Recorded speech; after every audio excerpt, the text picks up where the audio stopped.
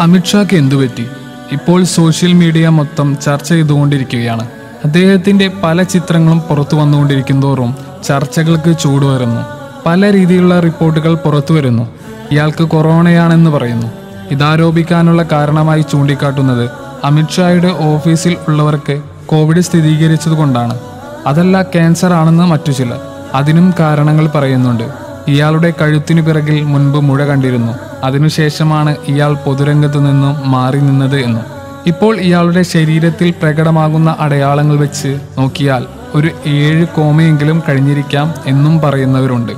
ഏതായാലും അമിത്ഷായോ മറ്റു അനുബന്ധപ്പെട്ടവരോ ഇതുവരെ സ്ഥിരീകരിക്കാൻ മുന്നോട്ട് വരാത്തതിനാൽ നമുക്കിതൊന്നും വിശ്വസിക്കാൻ സാധിക്കില്ല.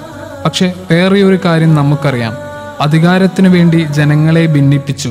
അവരുടെ ചോര കുടിച്ചു ചോരക്കൊതിയന്മാരായ അഹങ്കാരികളായ ഭരണാധികാരികളൊക്കെ ഈ ഭൂമിയിൽ നിന്നും നരകിച്ചിട്ടു മാത്രമേ പരലോകത്തേക്ക് യാത്രയായിട്ടുള്ളൂ. അതിന് ഏറ്റവും വലിയ ഉദാഹരണം ചരിത്രത്തിൽ ഫിറോൺ തന്നെ. കൂടുതൽ പറയേണ്ടതില്ല.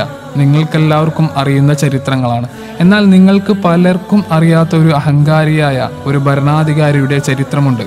ആയിരത്തി തൊള്ളായിരത്തി എൺപത്തിരണ്ടിൽ ലബനാൻ ഇസ്രയേൽ യുദ്ധത്തിന്റെ ഭാഗമായി ബെയ്റൂട്ടിലെ സാംബ്ര ഷഡില അഭയാർത്ഥി ക്യാമ്പുകളിൽ ഇസ്രായേൽ എന്ന ജൂതരാഷ്ട്രത്തിന്റെ പിറവിയോടുകൂടി സ്വന്തം മണ്ണ് നഷ്ടപ്പെട്ട അഭയാർത്ഥികളായി കഴിഞ്ഞിരുന്ന നൂറുകണക്കിന് ഫലസ്തീനി കുഞ്ഞുങ്ങളെയും അവരുടെ മാതാപിതാക്കളെയും കൂട്ടക്കൊല നടത്താൻ കാരണക്കാരനായ ഇസ്രായേൽ മുൻ പ്രധാനമന്ത്രി ഏറിയൽ ഷാരോൺ.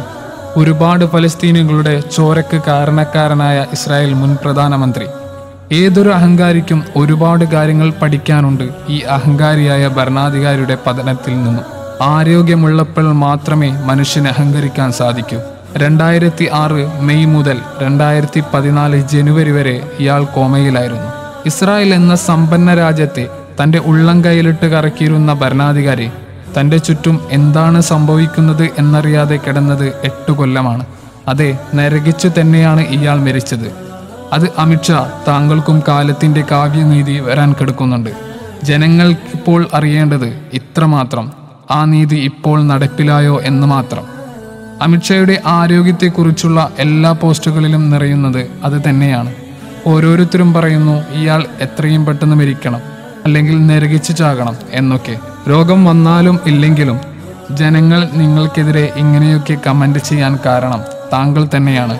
ഒരുമിച്ച് ജീവിച്ചിരുന്ന ഇന്ത്യയിലെ മുസ്ലിമീങ്ങളെയും മറ്റു മതസ്ഥരെയും ഭിന്നിപ്പിക്കാൻ താങ്കൾ ഇറക്കിയ വെറുപ്പിന്റെ പ്രത്യയശാസ്ത്രം തന്നെയാണ് താങ്കളെ തിരിഞ്ഞുകൊത്തുന്നത്.